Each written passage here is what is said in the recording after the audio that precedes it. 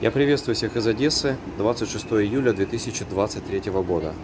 Поступила информация о том, что в 16.50 предварительно были осуществлены пуски с нескольких бортов стратегических бомбардировщиков Ту-95МС. В своих предыдущих видео я сообщал о вылете 13 бортов, которые вылетели с аэродрома Оленья Мурманской области, направлялись э, в район Каспийского моря. И вот по предварительной информации уже были осуществлены пуски. Ориентировочное время подлета 18.00-19.00.